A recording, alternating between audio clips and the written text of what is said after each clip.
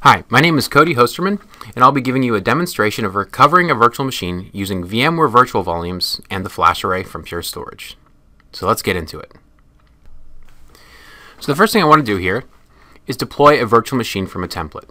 So I'm going to create a whole new VM. So I'll give it a name.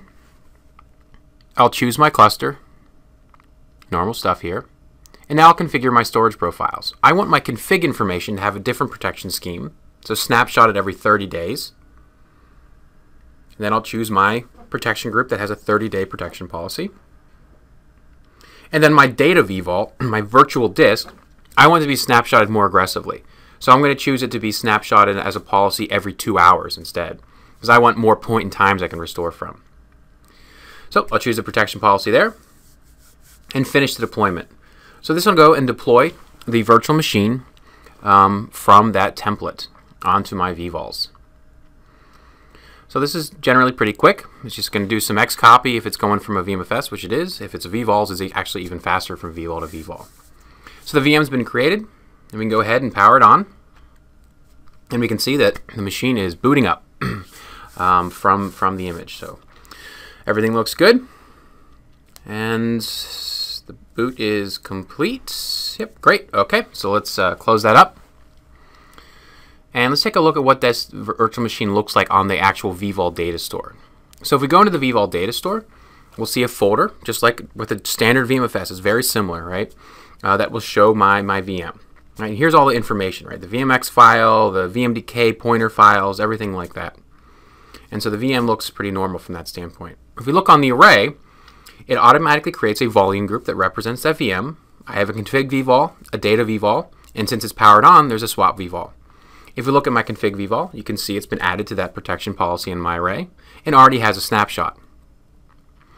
If I look at my data vvol inside of my volume group, aka my VM, we can see it's added into a different protection policy because I gave it a different one when I provisioned the storage policy against that VM. So the VM's been created and is indeed a vvol based VM. So let's uh, accidentally delete it. So I'll power it off. The power off process actually deletes the swap vvol.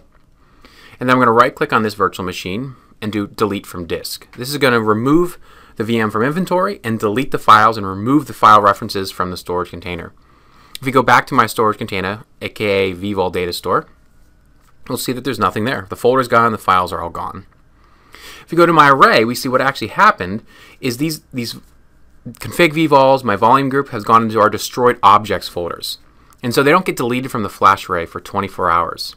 So what I'll do is recover my volume group, which is my VM, kind of object on the array.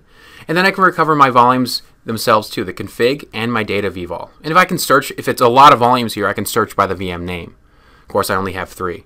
So I'm going to choose my config and my data. There's no need to restore the swap vvol, so I'll just restore the other two. As you can see, inside of this, my volume's been um, created. and now I'm going to restore my config vvol because VMware wipes that config vvol when you delete it. So I need to restore it from a snapshot. That's why it's important to have at least one snapshot of your config vvol. I'll refresh my vvol data store, and you'll see my folder's back. If we go into that folder, we see because that config vvol has been restored from that snapshot, all the configuration files are back too, even though VMware originally deleted them. So right click on my VMX, VMX file just like before, register new VM, choose my location, everything like that, and complete the wizard. That'll register it. Since it, since it was snapshotted when the VM was powered on, it's going to say, hey, was this copied or moved? I'll answer the question and say, um, yeah, indeed it was technically cop moved, rather, um, but it's just been moved back, right? So I'll go ahead and answer that question, and the VM will continue to power on. I choose move because that way it keeps the VM same information as it was before. If you do copy, it thinks it's a copy, right? Generate some new identifiers. And now the Windows machine is booting up. So very simple to automate this process through the flash array and VMware with virtual volumes. And we plan on making this even easier with plugins and other kinds of tools. Thanks for watching.